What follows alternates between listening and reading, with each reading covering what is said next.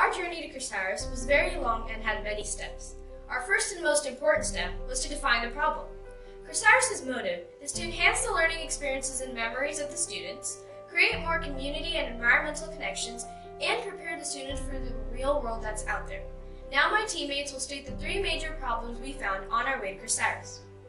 The first major problem in schools today is the fact that kids don't completely understand the necessary need to go to school.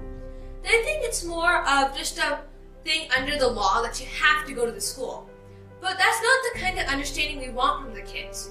We want them to completely understand that they should go to school because they want to and they think it's a necessary need for their growth. If they don't have the passion for the school or their studies, they won't get a complete understanding about this. And if they don't have a complete understanding now, they can't possibly have it later. So as parents, teachers, and community members, we have to help these kids understand this concept and create a true passion for this. On the show Are You Smarter Than a Fifth Grader, a lot of adults fail this test because when they were growing up and learning these skills, they had not completely fully mastered them and they had not understood them. If they had not understood them then, how could they understand them now? Our second problem is that there's simply a great gap between the school and its surrounding community. This disconnection doesn't allow for students to develop a sense of responsibility or independence, and they don't plan ahead for the future in which they must fit into a community around them. The, because of this, when students come out of school, they find it a struggle to fit into the community they're in, simply because they weren't prepared for it. Where does cheese come from? A lot of students would answer this question as a local grocery store. Explanation we want from them? Shouldn't we instill in them the simple idea of where their resources come from? If we don't do this, how will they keep a better earth for the next generation? This is our third problem.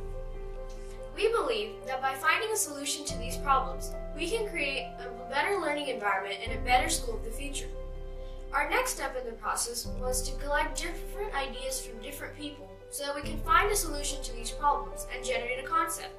For this, we went out and interviewed different members of our society, such as parents, students, teachers, and so many more people.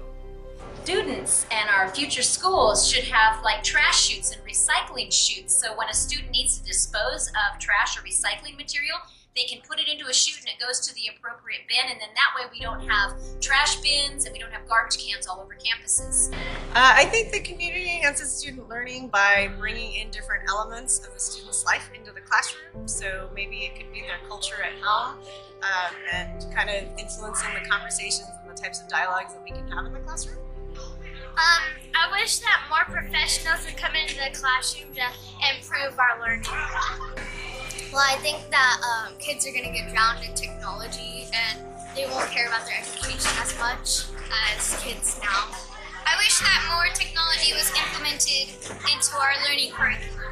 I think it's very important for students to be aware of the nature in their environment because if they understand the environment around them, they understand how their learning relates to their actual now that we've gathered ideas from community members, we decided to put all the singular thoughts onto an idea board that will help us brainstorm and organize our thoughts on creating the school of the future. This is our idea board. We've taken all our thoughts and ideas and organized them on sticky notes onto the board in order for us to brainstorm and organize our thoughts more easily. Now that we have a solid idea of what problems and solutions we wanted our school to address, we, we sat down and started making conceptual, conceptual diagrams of what we wanted our school to look like. We used isometric views, bird's eye views, 2D diagrams, and even blackboard diagrams to visualize what we wanted our school of the future to look like to us.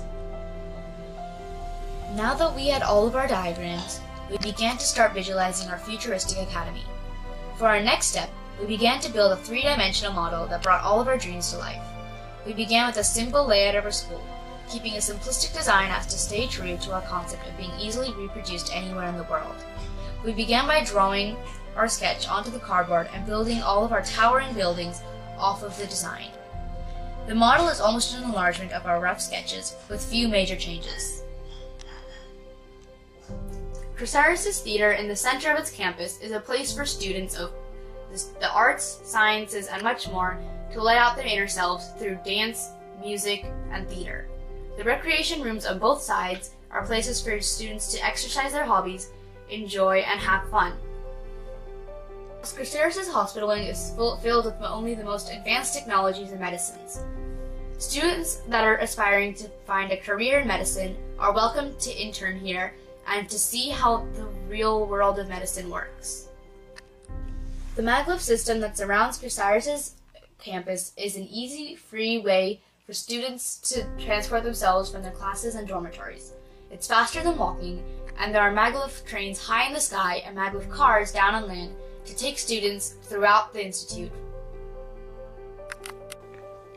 The gym and locker room are completely powered by the human exercises, and they also have a health monitor that monitors the students' health.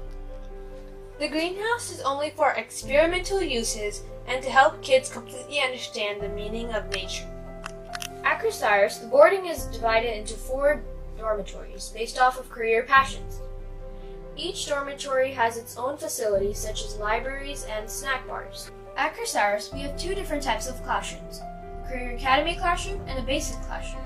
In the basic classrooms, we teach the standard subjects and have equip- equipment accordingly. In the Career Academy classrooms, each of them are specialized to the career passion of that dormitory. Students.